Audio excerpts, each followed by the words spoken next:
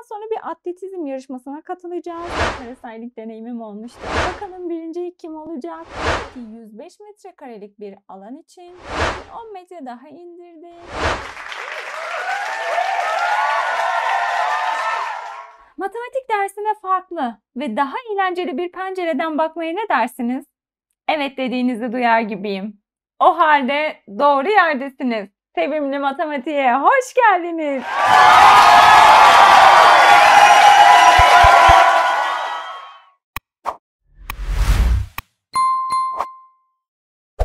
Merhaba sevgili öğrencilerim. İşte yine beyin yakan günlerden birisi. Yeni nesil soru çözüm günündeyiz. Bugün doğrusal ilişkiler konusu ile ilgili yeni nesil sorular çözeceğiz. Doğrusal ilişkiler konu videosunu izlemediyseniz önce o videoyu izleyip sonra yeni nesile geçmenizi tavsiye ederim. Orada daha basit düzey sorular çözdüm. Hafif bir ısınma olur sizin için. Konuya alışırsınız. Konu videosunda arabayla gezdirmiştim sizi hatırlarsınız. Şimdi paraşütle gezeceğiz. İlk sorumuz paraşütlü. Diğer sorularda koşacağız, dalış yapacağız. Daha neler neler. Ben soruları görmek için heyecanlanıyorum açıkçası. Hadi başlayalım. Parasailing yani deniz paraşütü. Ben sizin yaşınızdan birkaç yaş daha büyükken e, parasailing deneyimim olmuştu. Gerçekten heyecan vericiydi. Bakalım bu soruda neler söylüyor bize, neler anlatıyor. Parasailing bir sürat motorunun vincine bağlanmış olan paraşütün hızlı havalanmasıyla yapılan bir su sporu aktivitesidir. Yerden hareket eden paraşütle kişi sürat motorunun hareket etmesiyle deniz seviyesinden yükselmeye başlar. Bakın burası neydi? Burası bizim hikaye kısmı. Hikaye kısmını tekrar okuyacak mıyız? Hayır. Burada sadece ne olduğunu anlatmış. Tekrardan ikinci dönüşte bunu okumayacağız. Yükselemeci en yüksek noktanın yerden yüksekliği 750 metreymiş. Bunu da aklımızın bir kenarına yazalım. En yüksek nokta kaç? 750. Burası demek ki maksimum noktası. Evet, devamına bakalım. Sürat teknesinin yavaş ve hızlı gittiğinde paraşütteki Zeynep Hanım'ın denizden yüksekliği ile geçen zaman arasındaki doğrusal ilişkiler yukarıda verilmiştir. Tamam. Hangisinin yavaş, hangisinin hızlı olduğuna bakarız. Zeynep Hanım 300 desimetre yüksekliğe ulaştıktan sonra sürat motoru hızlandığına göre 750 desimetreye ulaşıncaya kadar geçen süre toplam en az kaç saniyedir? Bu yeni nesil sorular da biraz yoruyor değil mi çocuklar? Gerçekten o kadar uzun ki bir sayfayı da kaplıyorlar gördüğünüz gibi. Ama sevimli matematik öğrencileri için bunlar çerez soru biliyorum. Hadi çözelim bakalım şu çerez soruyu. Bakın 300 desimetre yüksekliğe çıktıktan sonra sürat motoru hızlanıyor. Demek ki 0 ile 300 arasında yani 0 ile 300 desimetre arasında yavaş. 300 ile en fazla çıkabileceği kaçtı? 750 desimetre. 750 desimetre arasında hızlı. Öğrendiklerimizi bu şekilde bir yazalım bakalım. Evet yavaş ve hızlı gittiklerini de tespit edelim. Bakın burada 1 saniyede 10 desimetre yükselmiş. Burada 2 saniyede sakın şunu karıştırmayın. 2 saniyede 150 demeyin. Neden? Çünkü başlangıcı 100 desimetre yani 100 ile 150 arasındaki değer burası. Şu aradaki farkı bulacağız. 150'den 100'ü çıkartacağız. 50. 50 desimetre yani 2 saniyede 50 desimetre yol alıyor. 1 saniyede kaç desimetre yol alır?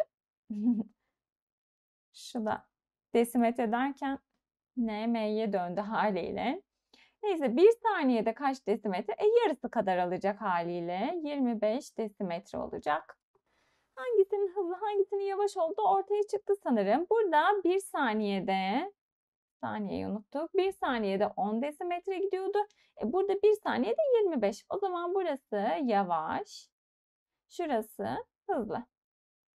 Şuraya güzelce tekrardan yazayım ben.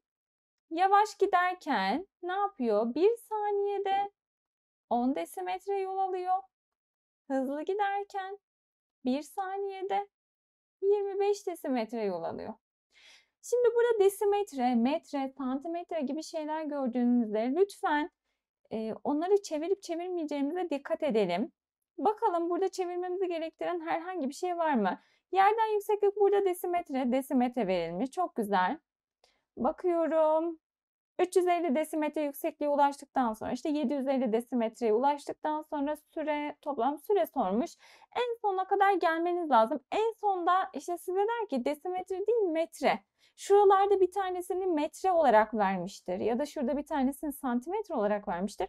Hepsini aynı cinse çevirmeniz lazım. Peki hangi cinse çevireceğiz hocam? Sizden hangisini istiyorsa burada her şey desimetreyle tabii ki desimetre olarak kalacak. Yani desimetre cinsinden bulacağız. O zaman desimetre olarak verdiği için çevirmemize de gerek yok dolayısıyla. Soruda gerekli olan her şeye baktık. Buraya da yazdık. Şimdi bunları artık çözümleme vakti. Hadi gelin çözümleyelim birlikte. Yavaş olarak alacağımız yol ne kadarlık? 0 ile 300 desimetre. Yani 300 desimetrelik bir yol alacağız değil mi yavaş olarak? Evet. 300 ile 750 desimetre arasında hızlı. Burada kaç var? Yani 750 ile 300 arasındaki farkı bulacağız. Tabii ki 450 desimetrelik bir yolumuz var burada. Bunu da hızlı olarak alacağız. Yavaş da bakın yavaşın 1 saniyede 10 desimetre gidiyorum. Peki ben 300 desimetrelik yolu kaç saniyede giderim? Ne yapacağız? 300'ü 10'a böleceğiz. 10'a böldüğümüzde kaç buluruz? 30. Yani içinde 30 tane 10 desimetre varmış. E 10 desimetreye de 1 saniyede gidiyoruz. O zaman kaç saniye yol alırız? Yani normalde 30'da 1'i çarparsınız. İşte 30 saniye yol alırsınız. Şimdi hızlıya bakalım. Hızlı da 1 saniyede 25 desimetre yol alıyoruz. Gitmemiz gereken kaç var? 450 desimetre. 450'yi 25'e böleceğiz. Kaç tane 25'lik var içerisinde? 450'yi 25'e böldüğümüzde 18 gelecek. Yani 18 tane. E kaçar saniyede gidiyoruz yine bunu? 1 saniyede. 1 ile çarpacaksınız. 18 saniye. E, 30 saniye bu yavaş olarak aldık. 18 saniyeyi de hızlı olarak aldık. İkisini toplarsak 48 saniyelik bir süre geçer. Güzel bir soruydu çocuklar. Bakalım ikinci sorumuz da bu soru kadar güzel mi? Hadi çözelim.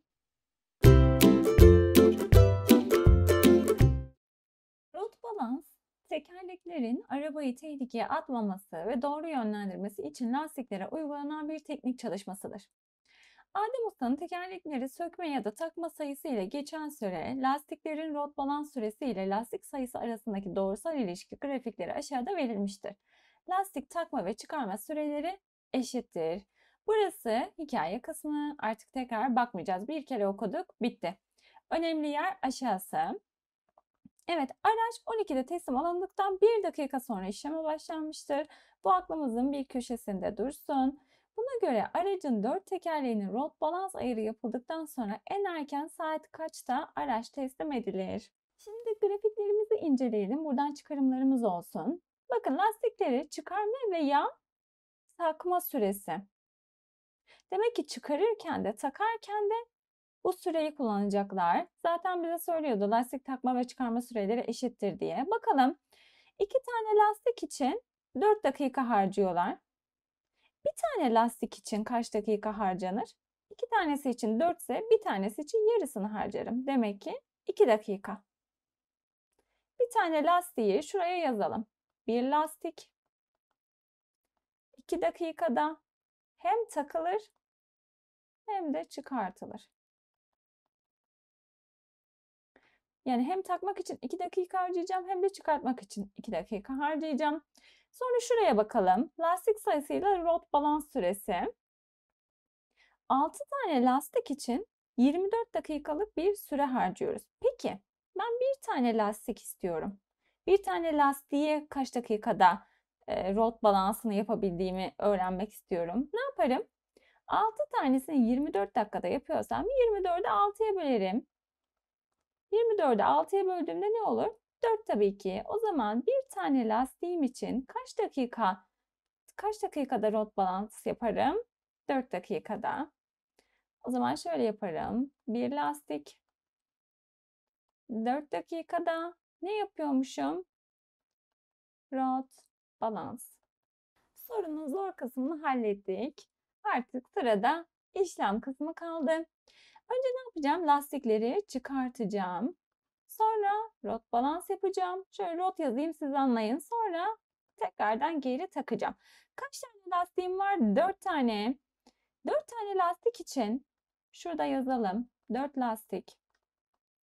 Kaçar dakikada çıkartırım ya da kaçar dakikada takarım? 4 ile 2'yi çarpacağız. Tabii ki 8. 8 dakika toplamda bunları çıkartmakla uğraşırım. Sonra rot balans yapacağım. Bir lastik için 4 dakika harcıyordum. 4 lastik için 4 kere 4'ten 16. 16 dakika rot, rot balansa gidecek. 4 tane lastiğin tamamı için. Sonra da takmak için uğraşacağım. E, çıkartmakla aynı süreydi. Yani 8 dakika. Bunların hepsine kaç dakika harcadık? Hepsini topladığımızda 32 dakika harcamış olduk. Araç kaçta gelmişti? 12'de. Ama bir dakika sonra işlem alınmıştı. Yani 12'yi bir geçecek. Sonra 32 dakika daha ekleyeceğiz. E 12'yi 33 geçe teslim edilir. Keşke şaşırtıcı bir şık koysalarmış. Ben olsaydım koyardım. Yani 12-32 koyardım. Şuradaki bir dakikayı unutuyor musunuz bakalım diye. Güzel, beyni çalıştıran, hızlandıran bir soruydu. Hız demişken spor yapıyor musunuz çocuklar? Biraz sonra bir atletizm yarışmasına katılacağız. Arda, Efe ve Kerem diye çocuklarımız var. Bakalım birinci kim olacak? Ben çok merak ediyorum. Bakalım mı? Hadi bakalım.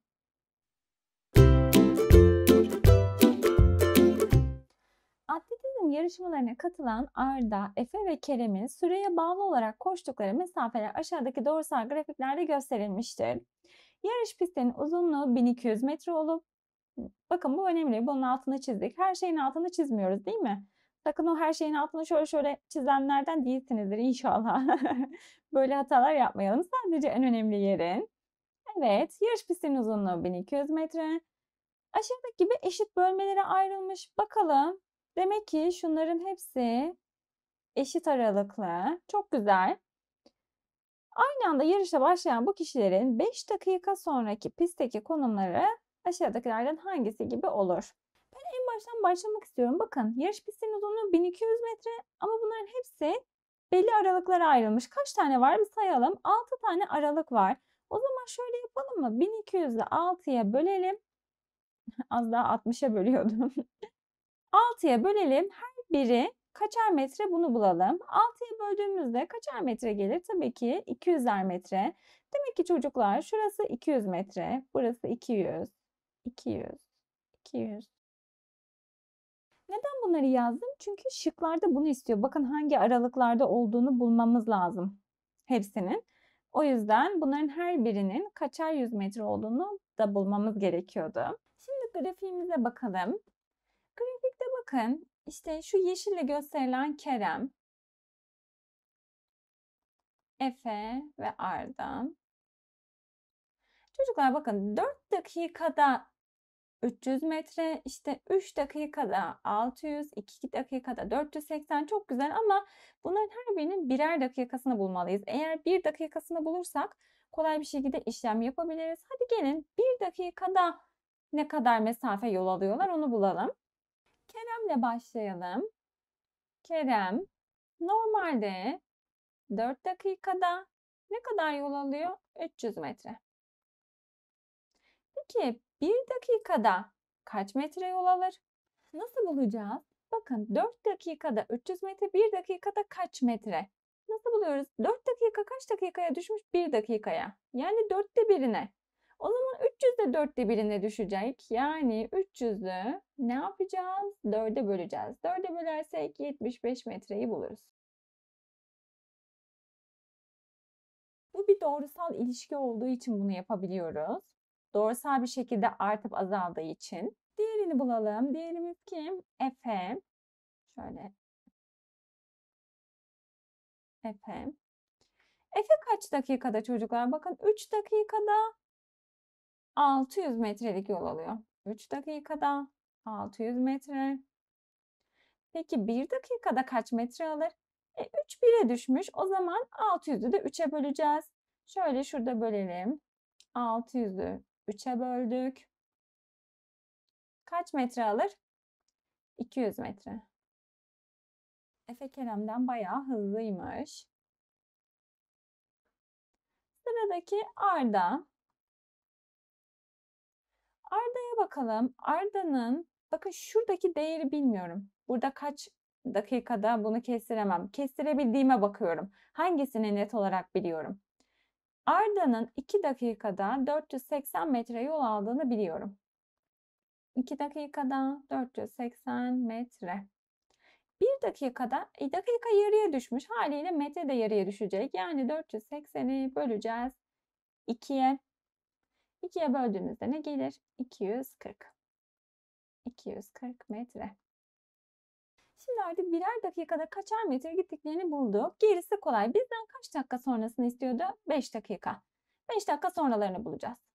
5 dakika sonra kaç metre yol alır? 1 dakikada 75 metre ise 5 dakikanın sonunda 5 çarpı 75'tir. 75 ile 5'i çarparız. Onu da şurada çarpalım. 75 ile 5'i çarptığımızda 375 buluruz. Yani 375 metre yol almış. Sıra geldi Efe'ye. 1 dakikada 200 metreydi. 5 dakikada 5 katı yani 5 ile 200'ü çarpacağız.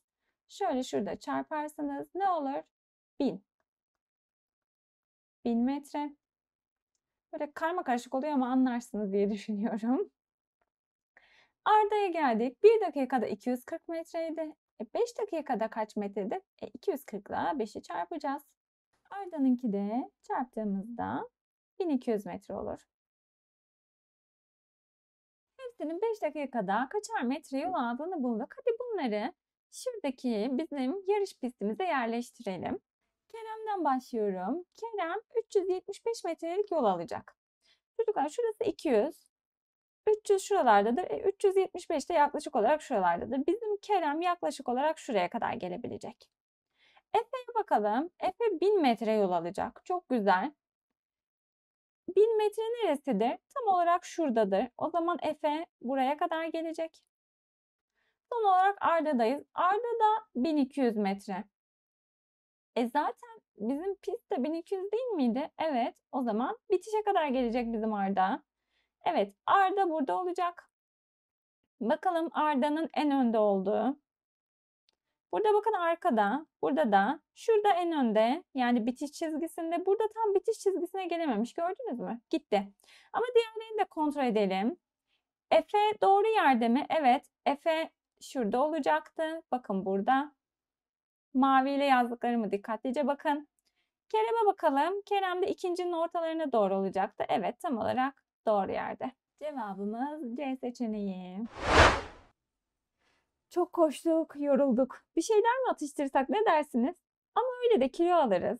En iyisi dengeli beslenmek. Bunu bir diyetisyene danışalım mı? Bence danışalım. Görüyorsunuz matematik yemek yerken bile sizinle. Sıradaki soru gelsin bakalım. Yine hayatın tam içinden bir soru. Okuyalım bakalım sorumuzu. 1 kilogram 1000 gram tamam. Yapılan bir araştırmaya göre 1 kilogram yağ yakabilmek için ortalama 7000 kalori harcamak gerekmektedir. Bu önemli. 1 kilogram yağ için 7000 kalori harcamamız gerekiyormuş. 1 kilogram yağ yakabilmek için. Bunların altını çizdik. Önemlilerin altını çiziyoruz sadece. Bir saatte yürüyüş yapmak ise ortalama 500 kalori harcanmasını sağlar. Hmm, bunun altını çizelim. Bir saatte yürüyüş 500 kalori harcattırıyormuş. Büşra bir diyetisyene gitmiştir. Diyetisyen Büşra'ya vücudundaki yağ miktarının ideal olandan 5 kilogram fazla olduğunu söylemiştir. Demek ki bizim Büşra 5 kilogram verecek.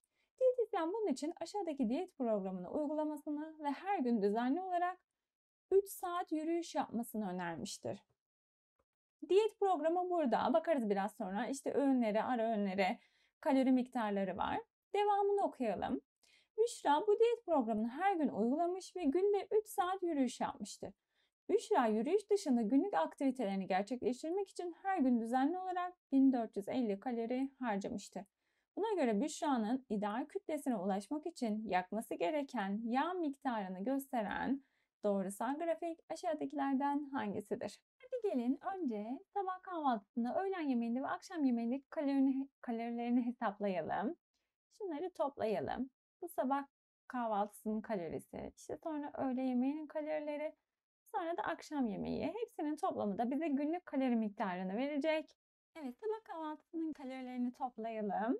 Bunları topladığımızda 305 buluruz. Demek ki sabah kahvaltısında 305 kalori almış. Şimdi öğlen yemeğine bakalım. Öğlen yemeğinde 460 kalori almış. Bunları tek tek toplarsınız kendiniz. Şimdi de akşam yemeğine bakalım. Akşam yemeğinde de 435 kalori almış. Bunların hepsini topladığımızda günlük kalori miktarı yani bir günde aldığı kalori miktarı 1200 buluyoruz. 1200'lük bir alım yapmış. Şimdi bildiklerimizi tek tek bir hesaplayalım bakalım. Bizim Büşra'nın alınan ve harcanan kalorilerine bakalım. Alınan, şurada da harcanan.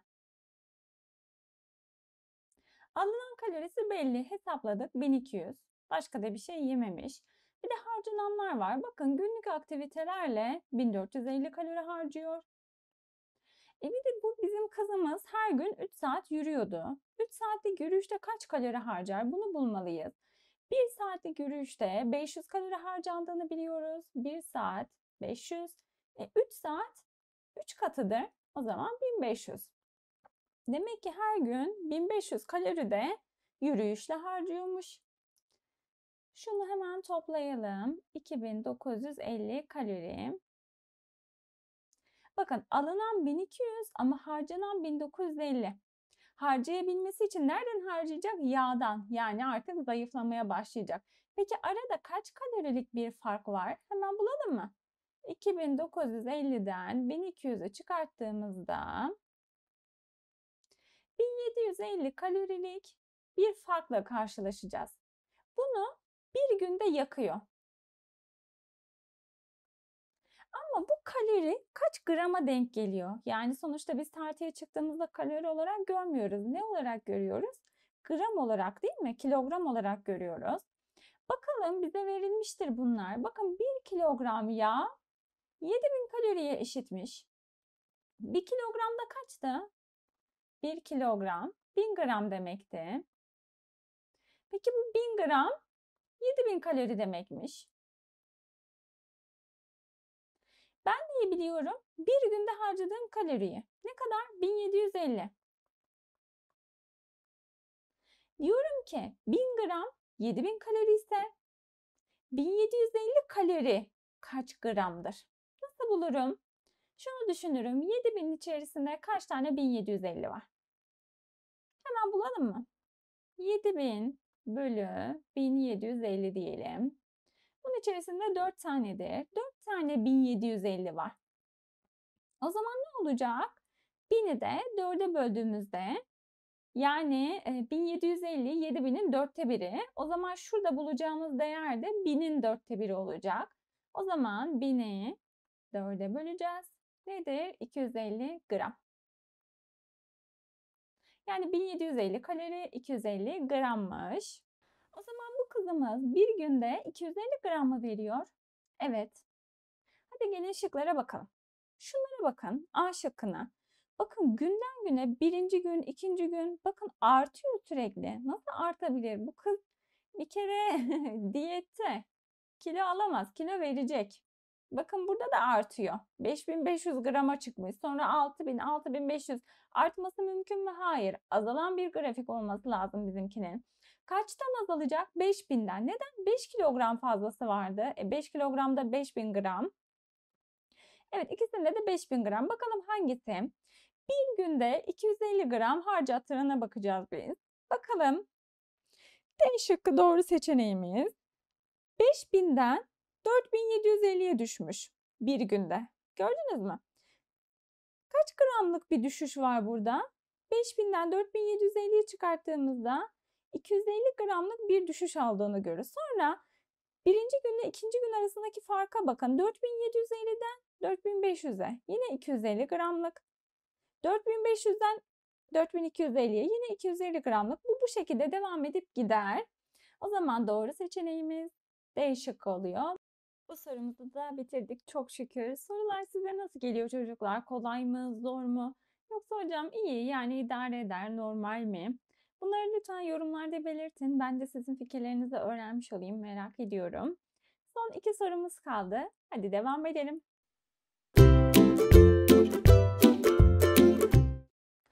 Diğerine göre daha kısa bir soruya benziyor. Bunu kendiniz denemek ister misiniz çocuklar? Videoyu durdurun, kendiniz bir çözmeye çalışın, sonra beni dinleyin olur mu? Hadi okuyalım. Aşağıda boyacı Erol Usta'nın bir evin duvarlarını boyamak için kullandığı 10 litrelik boya kutusunda kalan boya miktarı ve duvarda boyadığı alanın doğrusal ilişkisini gösteren grafik verilmiştir. Güzel.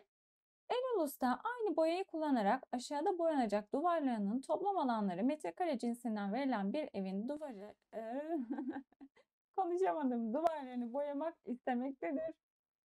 Salon 48 metrekareymiş. Çocuk odası 25 metrekare, oturma odası 32 metrekare. Buna göre Erol Usta bu boyama işi için 10 litrelik boya kutularından kaç tane kullanır? Öncelikle bakalım kaç metrekarelik bir yer boyayacağız. Şunların hepsini toplayalım. Zaten aynı boyayı kullanacakmış. O yüzden ayrı ayrı düşünmemize gerek yok. Toplam bir metrekare olarak düşünsek yeter. Çünkü burada öyle söylüyor. Aynı boyayı kullanarak diyor. Hemen toplayalım. 48, 25 ve 32'yi topladık. 105 metrekare. Ne kadar boya harcadığımıza bakalım. Bakın çocuklar 10 litreden 6 litreye düşmüş. Kaç, kaç litre harcanmış burada? 4 litre. Kaç metrekare alan için? 14 metrekare için. O zaman şöyle mi diyeceğiz? 14, 14 metrekare için 4 litrelik bir boya harcadık. Bizim toplamda kaç metrekaremiz var boyanacak? 105 metrekare. Bunun için kaç litre boya harcarız? 105 ile 14 metrekaresine tam bir bağ kuramadım ama şöyle yapabiliriz. Bunu yarıya düşürelim. 7 metrekare yeri boyamak için kaç litre boya harcarım? Yarıya böleriz yine. 2 litre. Artık şunu biliyorum ki 7 metrekare için 2 litre harcıyorum. Peki 105 metrekare için kaç litre harcarım? 105 7'nin kaç katı? Ona bakalım. Kaç katıdır sizce? 105'i 7'ye bölelim. 15. Yani 15'e 7'yi çarptığımızda 105 olur. O zaman burada da aynısı geçerli olacak. 2 ile 15'i çarptığımızda 30 litre. Demek ki 105 metrekarelik bir alan için 30 litrelik bir boya ihtiyacımız var. Ama bizim boyalar nasıldı? 10'ar litrelik kutular halinde. O zaman kaç tane boya almamız gerekir? 3 tane. Cevabımız B seçeneği. Sorumuz canlı bir soru ama önce bir okuyalım sonra da canlandıralım. Aletli dalış olarak bilinen scuba diving, su altında nefes almak için özel donanımların kullanıldığı bir dalış türüdür. Bu dalış türünde su altında bağımsız ve taşınabilen bir tüpte bulunan basınçlı hava veya gazların ortam basıncına uydurularak solunmasını sağlayan bir sistem mevcuttur. Bakın şuradaki adamda olduğu gibi bir tane tüpü var ve bunun içerisindeki oksijeni soluyor. Yeryüzünde sadece hava basıncına maruz kalırken su altına indiğinizde suyun ağırlığı da üzerinizde basınç oluşturur. Bu basınç akciğerlerinizi sıkıştırarak ciddi rahatsızlıklara ve can kayıplarına yol açabilir. Bu yüzden su altına dalışlarda tüplerin önemi çok fazladır. Fark ettiniz mi? Altını çizdiğim hiçbir şey yok. Çünkü burası hikaye kısmı. Hem de uzun bir hikaye kısmı. Burayı tekrar okumayacağız. Bunun altını çiziyoruz. Hikayelerin üstünü çiziyoruz pardon. Hikayelerin üstünü çizeceğiz. Tekrar dönüşlerde bunu okumayacağız. Çünkü işimize yaramayacak. Aşağıda su altına dalışta her 10 metrede etki eden basınç miktarını gösteren tablo verilmiştir. Tablomuz burada. Buna göre scuba diving yapan Alper Bey 110 metre daldığında hissettiği basıncı bulacağız. Gelin sorumuzun canlı halini bir ışınlanalım bakalım. İşte bizim Alper Bey şu anda deniz seviyesinde 0 metrede ve dalış yapıyor. Bakın 10 metreye kadar daldı. Üzerine ne kadarlık bir basınç bindi? 14,7. Soru da bize öyle söylüyordu yani. Sonra bir 10 metre daha indirelim. 29,4 oldu. Bir 10 metre daha indi. Bakın artık 30 metrede 44,1 basınç bindi üzerine. Su arttıkça üzerindeki dolayısıyla basınç da artıyor. Peki Alper Bey nasıl hava alıyor? Burada nasıl nefes alıyor? Sırtındaki tüpteki oksijeni kullanıyor. Bir 10 metre daha indirdik. İşte 58,8 oldu. Bu bu şekilde devam edecek ve Alper Bey 110 metreye kadar inecek. Bizde 110 metre yok 80 var. Buralara kadar insin. Şimdi sorumuza dönelim ve Alper Bey'in ne kadarlık bir basınç hissettiğini yani 110 metrede ne kadarlık bir basınç hissettiğini bulalım. Bu canlanabilen soruları çok seviyorum çocuklar. Sizlerin sorulara bakış açısını değiştiriyor. Bu sorular sayesinde çözdüğünüz diğer soruları da zihninizde canlandırabileceğinizi düşünüyorum.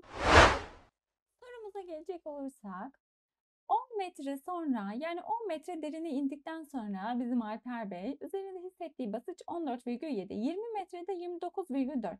İkisi arasındaki fark kaç acaba? 14,7. Sonra 20 ile 30 arasındaki farka bakalım. Yani 29,4 ile 44,1 arasında. Bunu da çıkarttığınızda burada da 14,7 gelir. Ve buradakine bakıyorum. Buradaki de 14,7. Demek ki çocuklar her 10 metrede bir 14,7'lik bir basınç artışı oluyor. Bizim Alper Bey kaç metre daldı? 110 metre. Daldıralım mı şöyle? Bakın şurası 0, 10, 20, 30, 40, 50, 60. Biraz daha gideceğiz. 100 ve 110. Her 10 metrede bir 14,7'lik bir basınç hissedecek. Kaç metreye kadar indi? 110 metreye. Kaç defa onarlık onarlık iniyor? Burada kaç tane var? 11 tane onarlık parça var. O zaman ne yapacağız? 14,7 ile 11'i çarpacağız. Ve cevabımız 161,7 olacak. Virgülü çarpmaları hatırlıyor musunuz? Ben bir hatırlatayım şurada yine de. 14,7 ile 11'i nasıl çarpacağız? Hadi bir hatırlayalım. Buradaki 14,7'yi normal 147 gibi düşünün. Yani şu virgülü unutun. Ve normal bir çarpma işlemi yapalım. 1 ile 7'yi çarpıyorum. 4'ü ve 1'i çarpıyorum. Sonra şuradaki 1 ile 7'yi, 4'ü ve 1'i çarptım. Topluyorum.